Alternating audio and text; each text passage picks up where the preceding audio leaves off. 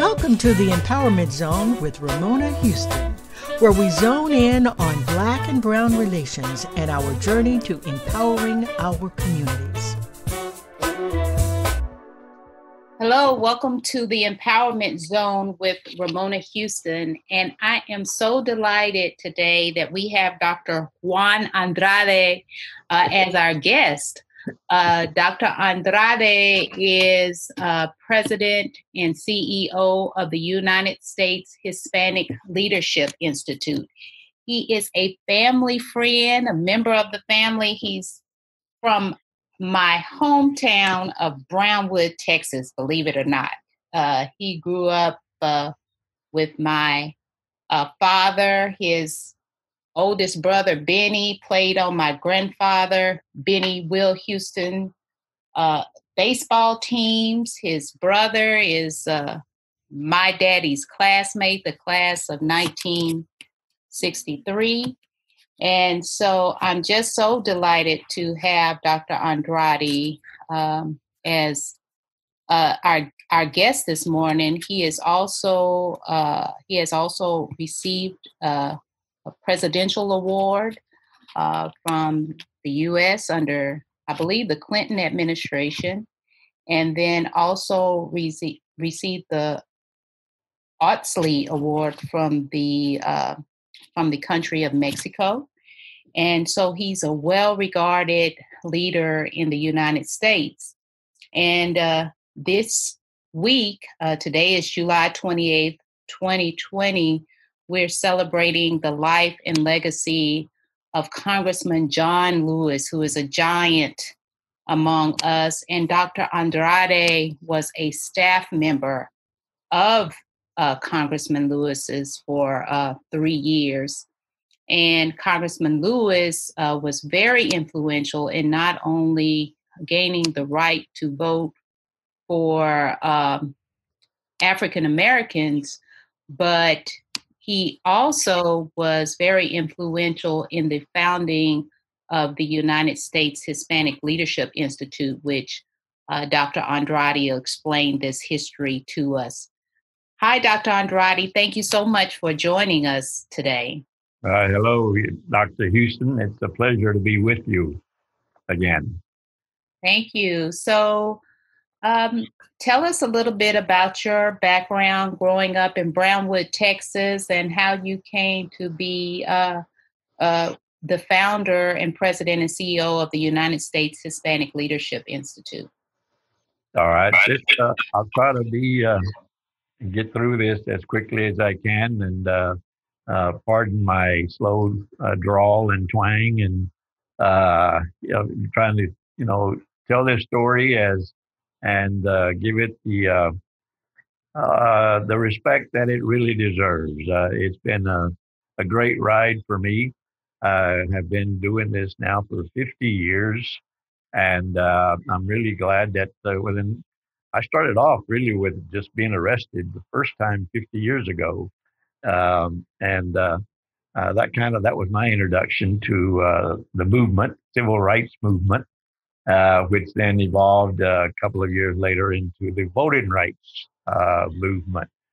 And what happened was that after the Voting Rights Act was passed in 1965, uh, which was attributed uh, in no small part to Congressman John Lewis, that he was very much involved even at, at that stage, as young as he was. And and when that the Southern Regional Council uh, took the initiative to create a voter registration organization uh, to register African Americans in the South, what they would just refer to as the old Confederacy. And uh, so that was a primary focus of the organization that they created that was called Voter Education Project, VEP. And uh, John Lewis was hired as the executive director of VEP. And um, in 1971, three Mexican American leaders from Texas um, uh, went to Atlanta to meet with John Lewis to ask him about the possibility of expanding to Texas uh, because initially uh, VEP did not include Texas. Uh, but they said we have a lot of African Americans in, in Texas, and of course, a lot of Mexican Americans as well. Uh, but we have no organization that will focus on empowering our communities and uh, asked him to expand. And uh, from the get go, John Lewis was a coalition builder. And uh, he didn't say why. Uh, he didn't ask anything about, you know, needing to be convinced. Uh, he immediately said, yes, that's a great idea. Uh, if you guys can find uh, someone to recommend, uh, I will gladly hire them and we can get this going. And so I was called uh, by the leader of the three group of the three individuals. Uh, his name was Dr. Jose Angel Gutierrez uh, from Crystal City, Texas.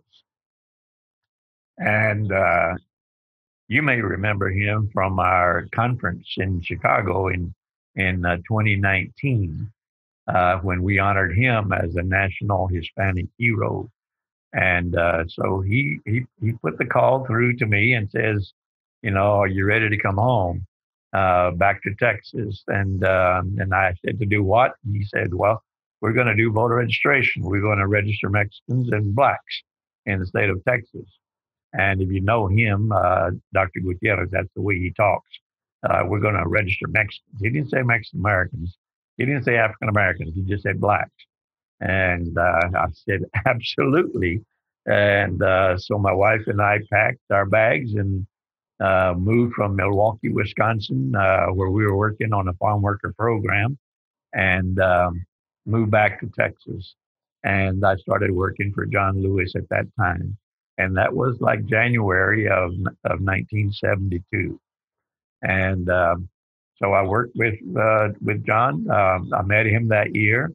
Uh, we had a staff retreat and I got to meet him and uh, talk about voter registration, how we do this. And so I learned from him what I would be doing the rest of my life.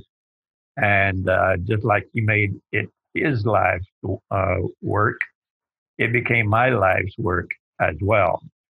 Uh, you can say that it was just contagious coming from John Lewis, that uh, there was nowhere else to go but to just put your shoulder to the wheel and do the same thing.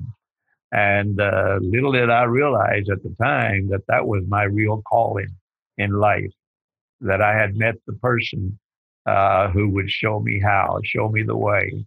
And um, I knew what I, I knew why I wanted to do it, but you need to learn some of these things. So I learned from the best.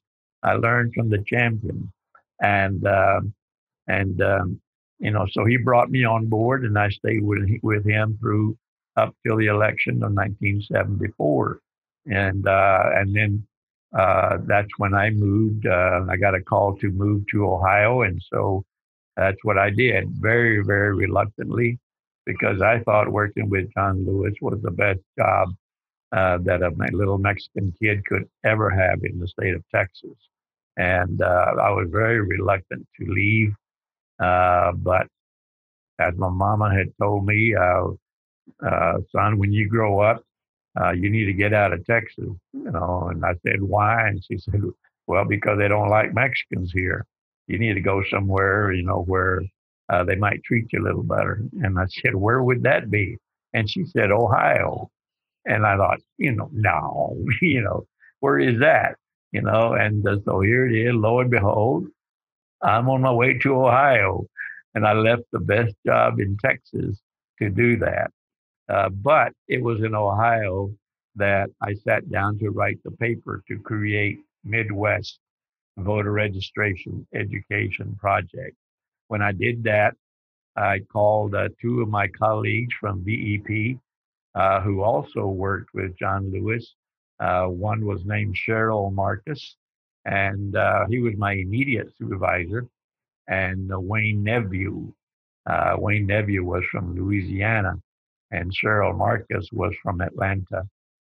And uh, they both uh, worked with John Lewis, and and uh, we were a team, the three of us.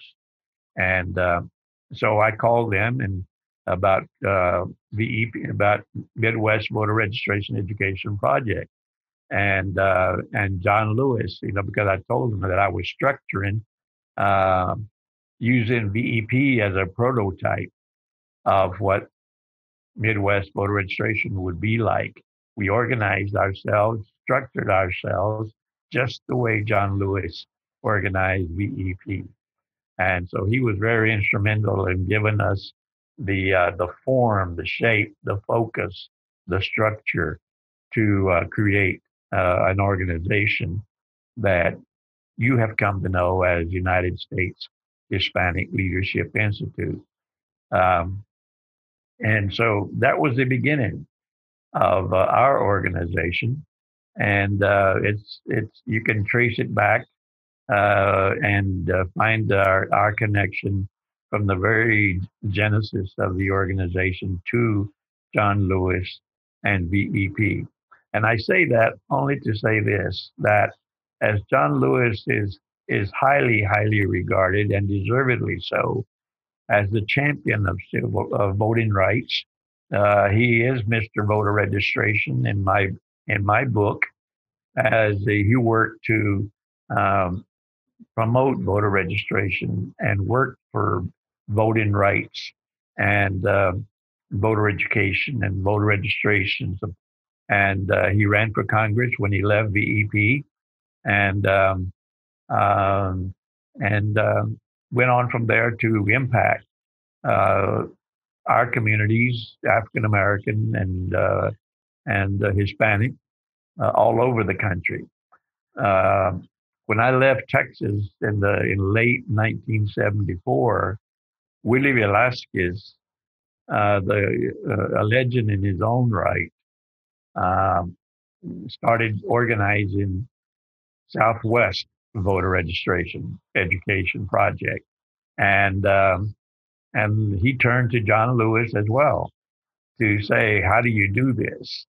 And um, and of course, uh, uh, Willie Velasquez uh, took that uh, the advice and direction that he got from John Lewis and blazed a trail throughout the Southwest, and um, and just charted uh, charted the uh, the path of uh, Hispanic political empowerment that continues to this very day. That's why we at our national conference uh, present the Willie Velasquez Trailblazer Award because Willie Velasquez was a trailblazer as well, just like John Lewis. We lost Willie Velasquez when he was uh, only 44 years old uh, in 1988. Uh, but, you know, the work was started and uh, he had uh, 14 good years and he put Southwest voter registration on the map and it became the, the premier uh, Hispanic empowerment organization in the country. And that work uh, continues even today. That's part of Willie's legacy. But Southwest voter registration is part of John Lewis's legacy, just like our organization, United States Hispanic Leadership Institute, is part of John Lewis's legacy. What he did to empower African Americans, it's uh, you know, it's legendary. What people need to know, though, that he did as much for uh, Hispanics as he did for African Americans. Uh, just between our two organizations of, of Southwest Voter and USHLI, we have registered over 5 million new voters to participate in the electoral process. And since our organization started, other organizations have also uh, gotten started to organize themselves. None are as old as we are, of course, but you know they are fruit from our labor, and then that's the labor that uh, emanates from John Lewis, and um, when he uh, organized voter education project out of Atlanta, Georgia. Thank you for sharing that history. Now, when we talk about um, the three men that you stated went to Atlanta to meet with John Lewis. Could you tell us the names of those individuals? Yes. Uh, one was a county commissioner in San Antonio, uh, Commissioner Ed, uh, uh Commissioner Albert Pena. Albert Pena. The other was State Senator Joe Bernal, B E R N A L. And uh, he went on later to serve uh, on the State Board of Education um, because of his, you know, focus on education, uh, which back in those days uh, left much to be desired as far as Hispanics were concerned, uh, because our history was essentially omitted from the history books uh, in Texas.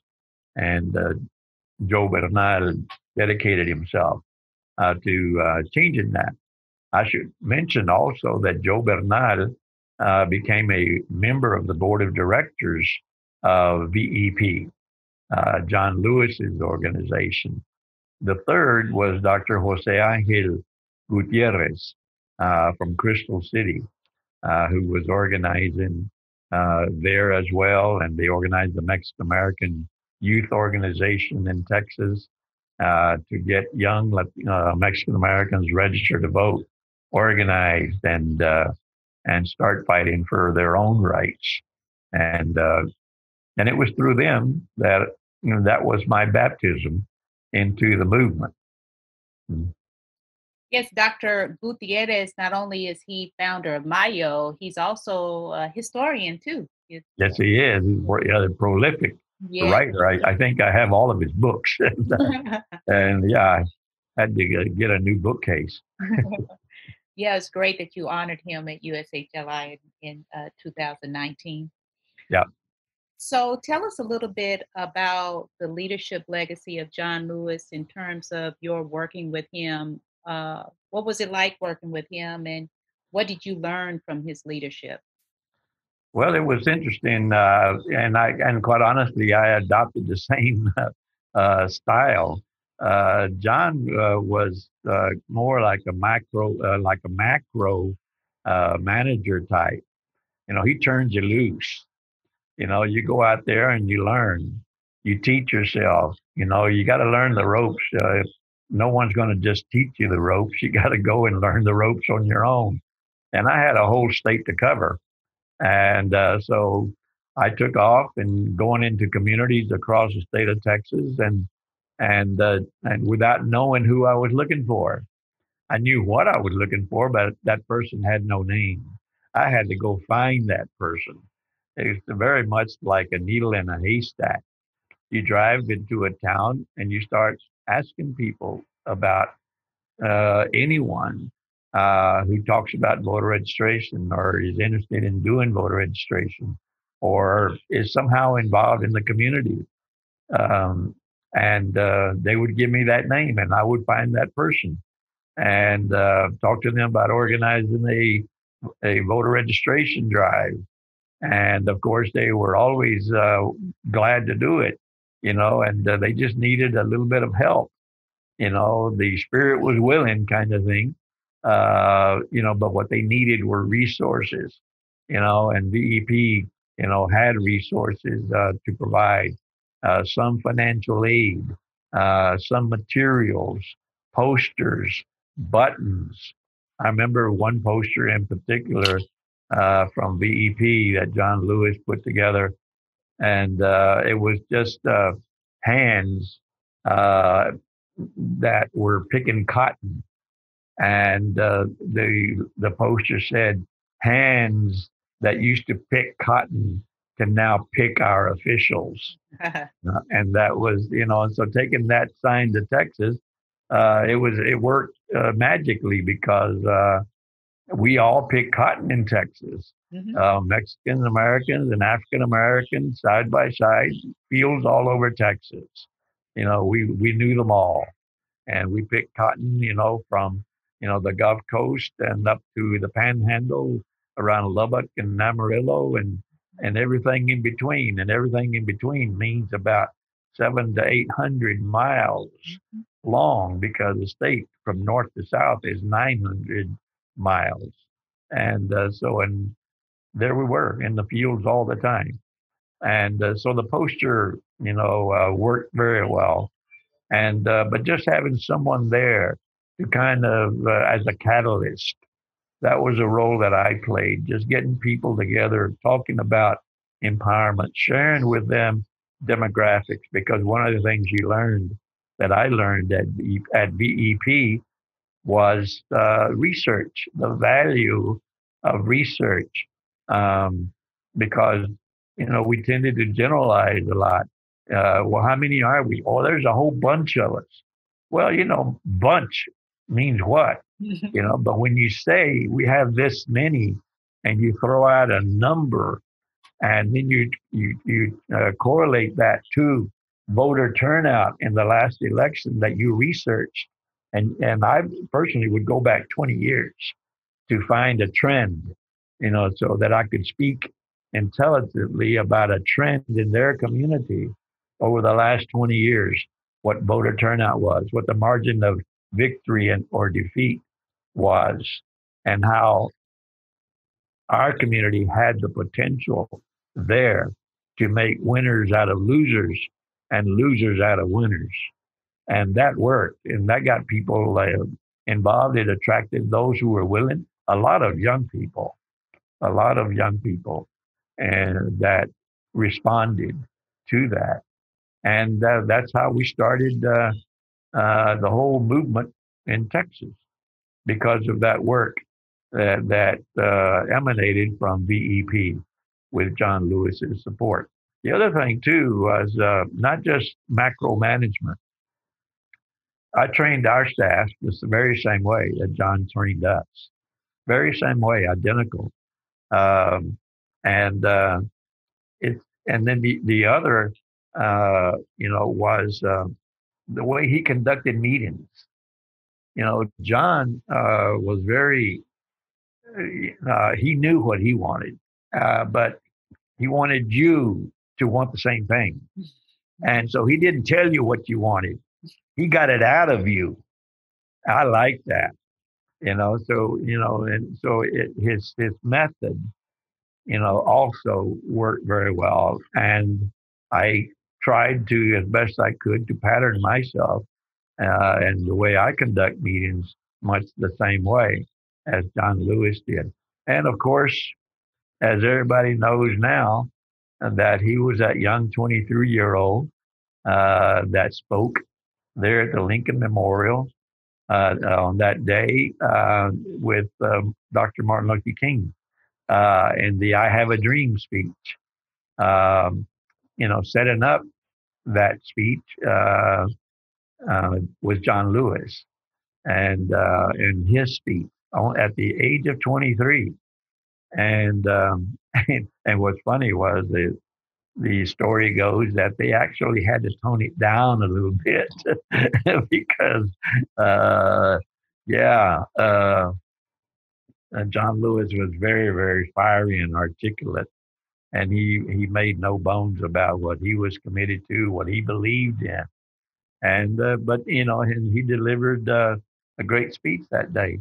Well you know, so he he too had that uh, public speaking ability and spoke with authority, knowledge, with passion, and uh, said things that you know that resonated with people, and, um, and that just became part of uh, his story and the impact that he had on people.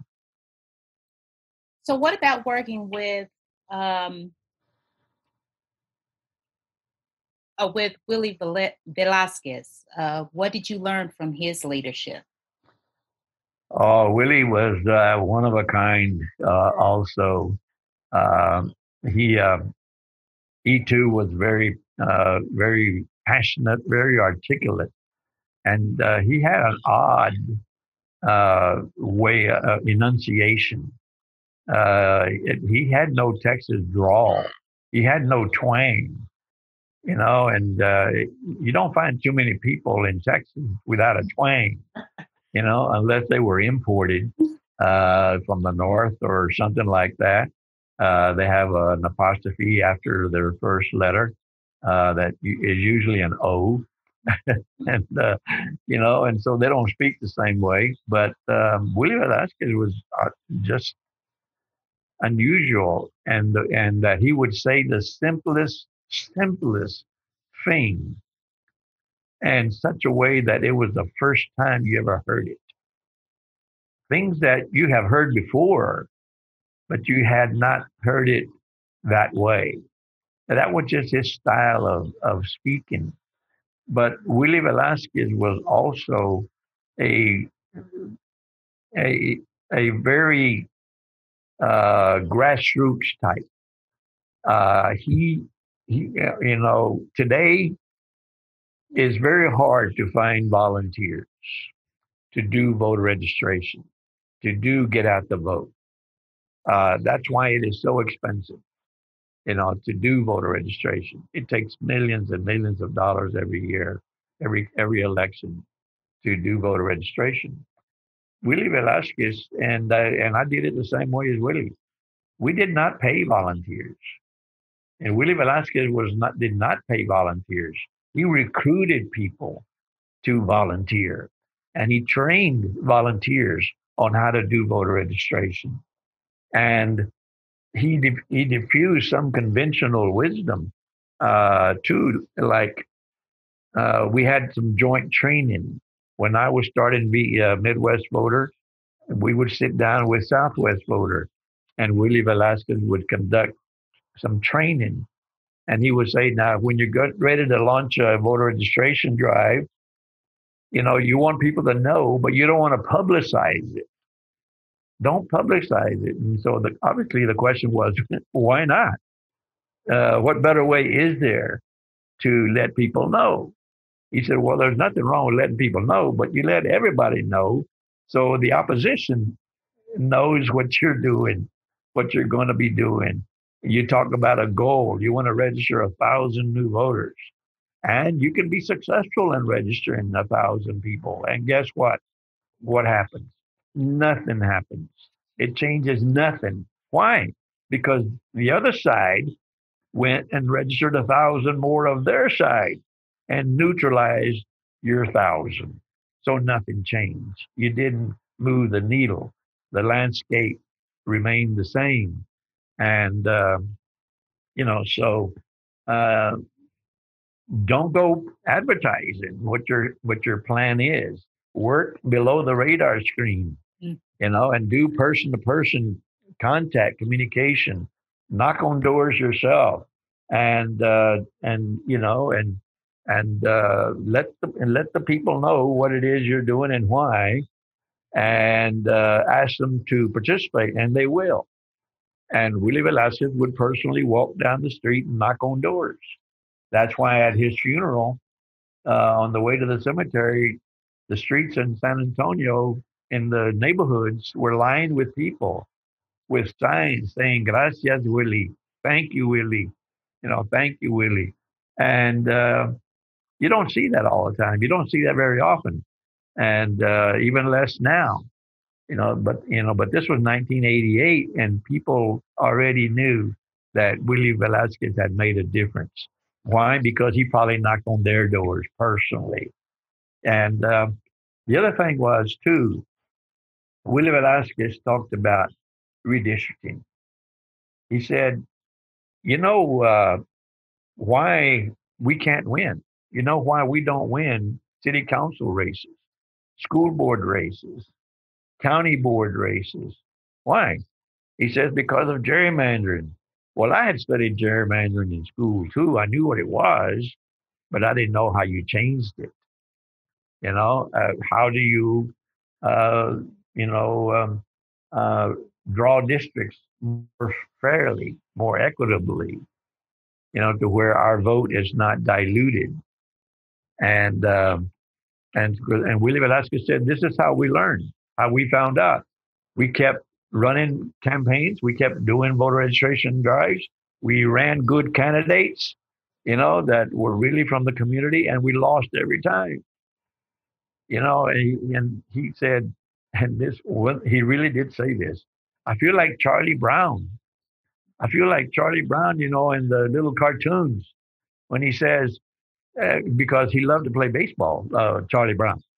And uh, you always see him with a glove, with a mitt, and, uh, a little baseball cap. And Charlie Brown would say, I, I don't understand why we keep losing when we are so sincere. Why do we keep losing when we are so sincere? And Willie Velasquez, that's, you know, I got the feeling that way time after time. Drive, voter registration drive after voter registration drive, nothing changed. And we were so sincere. And uh, then he discovered redistricting. And he he got a lawyer, brought him on staff, and he said, We got to sue these people. That's what's wrong. We can't win the way the boundaries are drawn. The way the boundaries are drawn. And so Willie says, wherever we, you know, let's look at these communities where we are, you know, 70% of the population, 75% of the population, and there's, you know, seven members on the school board and six are white and there's five members on the city council, and four, if not all of them, are white. Why can't we win? Because the way the district boundaries were drawn, and um, you know, and so he started suing, and he sued school boards, and he sued states for legislative districts. He sued city councils for city council districts, and that just became part of his uh, uh, his focus, his mission. And uh, he really, uh, you know, because back in those days, uh, groups like MALDEF, Mexican American Legal Defense, uh, was not created until 1968. And also here it was just four or five years later, and they they quite didn't have the, you know, the ground game that you needed uh, to do a lot of redistricting because they were also involved in employment discrimination, education disparities, housing, uh, you know, disparities and things like that. So MALDEF was all over the place. They weren't single-minded about voting rights. And Willie was very single-minded about voting rights. And even to this day, uh, it started with Willie Velasquez during his uh, lifetime. Uh, Southwest voters uh, filed over 40 lawsuits and were undefeated. They won every single lawsuit during Willie's lifetime. And today, they have filed over 200 lawsuits and have never lost a lawsuit to this day. And so, transforming the political landscape was just part of Willie's strategy. It was part of his wisdom. And that's something that I learned as well uh, from Willie. So our first year in Chicago, uh, you know, in 1982, uh, we started in 1979 doing uh, research on political capability and compiling political demographics for the Midwest. The big focus was Chicago. The census was in 1980. Uh, the data came out in 1981. The lawsuits were filed immediately against the city of Chicago, the state of Illinois. And we were involved in doing the research for that. Because why? I learned the value of redistricting from Willie Velasquez. That went, and then of course I, uh, when we started what was then Midwest voter registration, uh, I asked Willie to be one of our charter members and uh, there were my there were myself and three others that I asked to be charter members of Midwest Voter Voter Registration Education Project, and Willie Velasquez was one of the four that uh, incorporated the organization. So I know that the United States Hispanic Leadership um,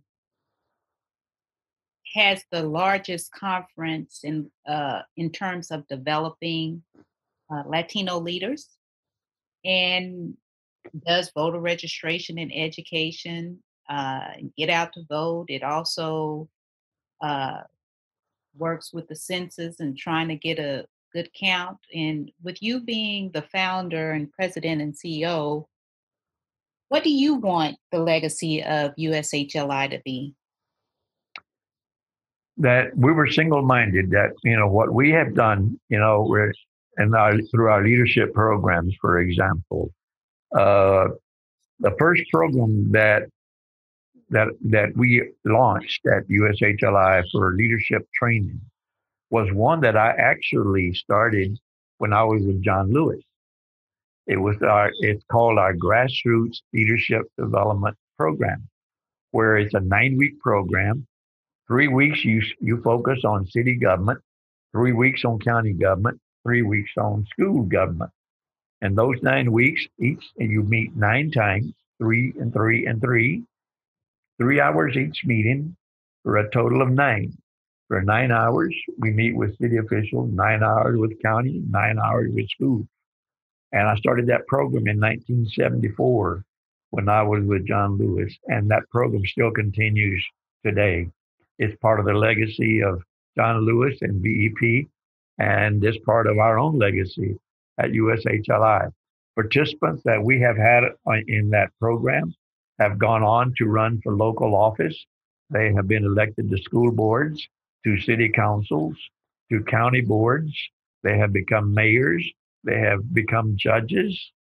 And one of the staff that I brought on board uh, back in the uh, early uh, 80s, 1980s, was Luis Gutierrez, uh, who ran for city council in Chicago after he resigned from our staff and uh, and was elected, served six years, and then went on to run for Congress um, in, uh, in 1992 and served until this last session. He finally um, retired uh, from Congress, but uh, I think he served about 26, 26 28 years. Uh, and uh, so that's where we are. And uh, but leadership development you know, it, it was about learning more about how government works. It's one thing to learn about elections, but elections are every two years or every four years. Government is 365, you know, 24 7. As we say in Spanish, el gobierno nunca duerme. Government never sleeps. Government never sleeps. There's always somebody at the switch.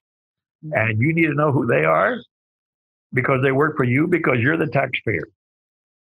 And just as importantly, they need to know who you are. And that's what that program does. That it, it, you know, it's 27 total hours of dialogue with those officials who run our cities, those who run our counties, and those who run our schools. And because people will tell you, well, I know who who I know who our public officials are. And I say, okay, name name as many local officials as you can. Name the most the 15 most influential, powerful leaders in city government. And when you finish that, name 15 of the most powerful leaders in school government and the 15 most powerful in county government. That's 45 people. How many can you name? And you and then they quickly realize, I don't know as much as I thought I did. I said, well, when you finish this program, you will meet those 45 people. Yes. In these nine weeks, you will, and they will meet you. So next time you're at the grocery store or standing in line to check out, and you see this person behind you or in front of you, he's going to know, he or she will know who you are, and you will know who or she is uh, because you met. And so you don't waste that opportunity to interact with them, you know, because you met them. You, now you know them. Because but before you started the program, you knew two or three city officials, two or three school board and school you know, officials, and two or three maybe county officials And you know that's so that's a total of six or nine. But when you finish this program, you're going to know up to 45. And uh, that began to uh, catch on and transform communities uh, across the, the country. And it bridged that gap between government officials and their constituents. Mm-hmm. It, you know, because they were very polarized. And government officials realize that it's very hard to get people involved, to engage them. And uh, through this program, uh, we kind of begin to bridge that. So that's a program that goes back to VEP and one that has been part of USHLI, and that's part of our legacy. And it's good to know that th- that program uh, still exists uh, yes.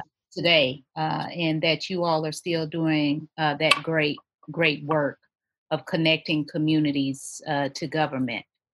Well, Dr. Andrade, I'm so happy that we had the opportunity to talk uh, about the legacies of um, Congressman John Lewis, you know, and the legacy of Willie Velasquez and and uh, S- and the Southwest Voter Registration Education as uh, Education Project, as well as your legacy at uh, USHLI, the United States Hispanic Leadership Institute. You are one of our uh, giants in our community, and and to know that you're from uh, my hometown of Brownwood, Texas, is very inspiring, and I know you've inspired uh, many, many, many leaders who are in government and politics, as well as those that went into other uh, sectors, such as the private sector, and uh, went into uh, the nonprofit sector. And we thank you for your leadership.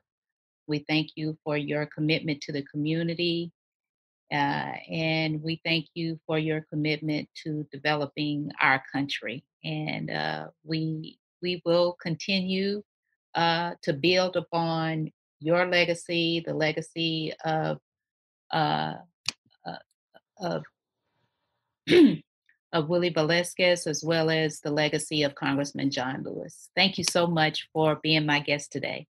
If if you'll let me say just one last thing about John Lewis. Yes, sir. That you know, this is also a reflection on him and the impact that he had. Uh, that the two leaders that he mentored that worked like myself, that I was on his staff, Willie Velasquez, uh, that he came in to help him set up voter Southwest voter registration. The the three of us, John Lewis, Willie Velasquez, and Juan Andrade, were all honored at the White House by a president and received a presidential medal for our service to the nation. Mm. Willie Velasquez and I by Bill Clinton, and John Lewis by Barack Obama. Mm. You know, and that's just part of John Lewis's legacy. You know, the the fruit that he bore. You know that you know we we are products of his love and his labor and his passion, and uh, part of his legacy. And that's one of the things for which I am most proud. Thank you. Thank you, Dr. Andrade. Love you much.